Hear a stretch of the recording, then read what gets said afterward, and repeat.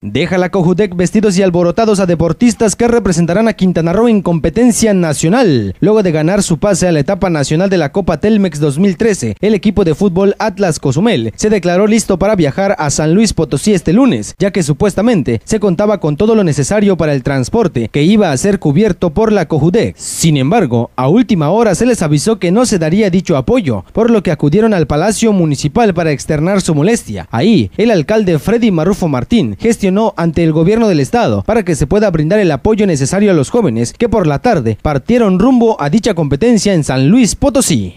Bueno, realmente estamos fungiendo como intermediarios en este momento para poder precisamente contratar los medios de, el medio de transporte que requieren los jóvenes para asistir al torneo Copa Telmex que creo que se va a llevar en San Luis, San Luis Potosí.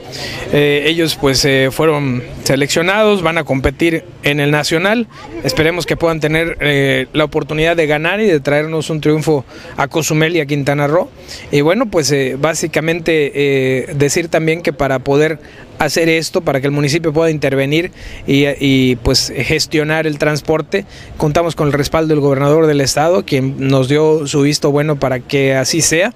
Y bueno, pues básicamente pues pedirles a los jóvenes eh, que le metan mucho entusiasmo, muchas ganas para que podamos pues tenerlos de vuelta con buenos resultados, por supuesto. Alcalde, ¿por qué, ¿a qué se debió esta situación, este, eh, este penoso episodio? Ignoro el tema, básicamente pues bueno, nosotros eh, este, el día de hoy estamos intermediando, intermediando, somos como intermediarios, pero básicamente el tema es que hay el respaldo del gobernador para poder atender esta situación, por eso el, municipio está mediando y con esto pues vamos a hacer posible que ellos puedan asistir precisamente a este nacional. Por su parte, José Abarca Villanueva, quien es el directivo del equipo de fútbol Atlas Cozumel, señaló que por situaciones de índole burocrática estuvieron a punto de no realizar el viaje, por el que han trabajado desde hace mucho tiempo, pero agradeció la gestión del ayuntamiento para que el problema fuera solucionado.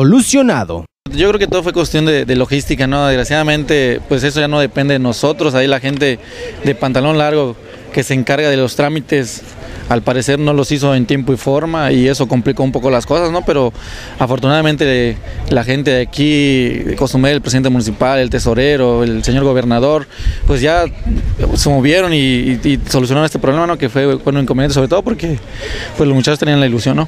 afortunadamente los partidos empiezan hasta el día miércoles 6. Eh, la, premura de salir antes era porque este, tenemos que estar ahí el día 5 para registrarnos en el hotel antes de las 3 y, antes de a, partir de las 3 hasta antes de las 5. Lógicamente hablamos con la gente de Pantalón Largo donde ellos tienen que hacer el cargo de, después de avisar al comité organizador de que vamos a llegar un poco retrasados ¿no? por la cuestión que, de, lo, de lo que pasó del autobús.